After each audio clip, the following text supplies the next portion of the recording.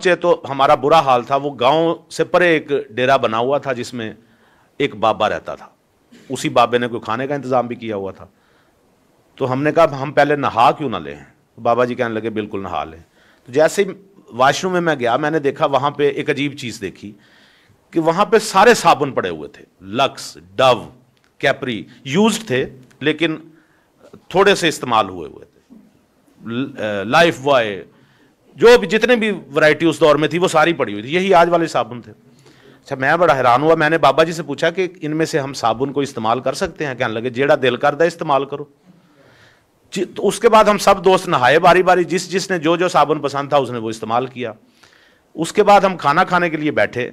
तो अब खाना शुरू हुआ मैंने लुकवा लिया। तो मैंने कहा बाबा जी ये बताएँ कि ये, ये शौक आपको कहाँ से पड़ा इस साबुन लेने का? इतने साबुन आपने क्यों जमा किए हुए थे? ਬਸ ਕਹਿੰਦਾ ਪੁੱਤਰ ਜਿੱਥੇ ਮੁਰਦਾ ਨੂੰ ਆਣ ਜਾਣਾ ਉਹ ਕਹਿੰਦੇ ਨੇ ਸਾਬਣ